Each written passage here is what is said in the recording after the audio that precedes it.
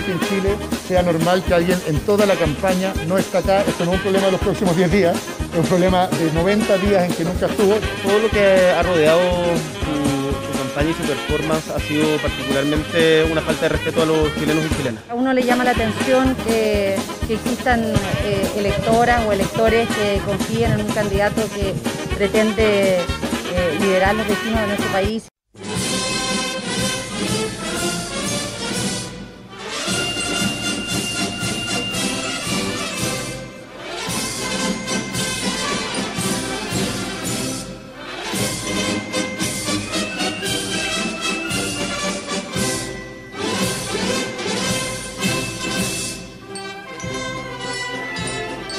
Thank you.